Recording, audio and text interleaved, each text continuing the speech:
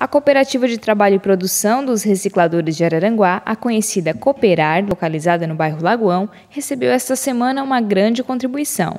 Em uma limpeza nos arquivos, a administração municipal de Araranguá decidiu fazer a doação dos documentos prescritos e dos papéis que estavam inativos por mais de 30 anos. Ao todo, foram duas toneladas e meia de material reciclado.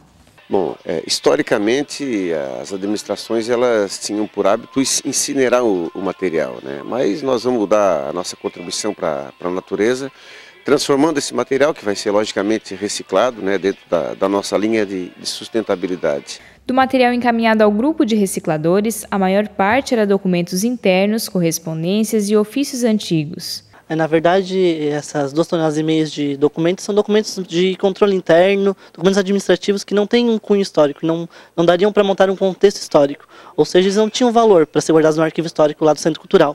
Então, eu mesmo fiz uma avaliação prévia, né, discutimos com mais algumas pessoas e reservamos esse material que era, era, de, era de importância histórica. Então, esse material foi separado pri, primeiramente desse material que está vindo aqui para reciclar.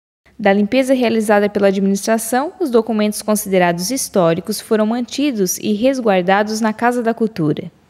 Já do material que seria incinerado, as quase 400 caixas serão revertidas em renda para os 40 recicladores associados.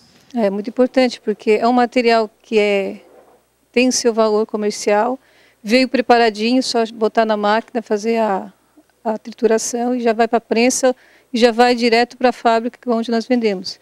Então, vão 2 mil toneladas, é um material que um catador traz por mês para nós. Os trabalhadores recolhem em torno de 50 toneladas de material por mês. Papel, plástico e papelão são aceitos pela cooperativa.